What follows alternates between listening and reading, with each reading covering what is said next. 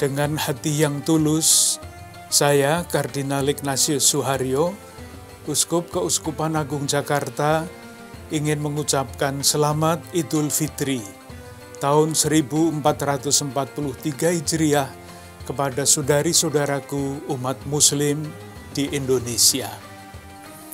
Semoga kemuliaan dan kesucian Idul Fitri menebarkan berkah bagi seluruh bangsa. Mohon maaf lahir dan batin.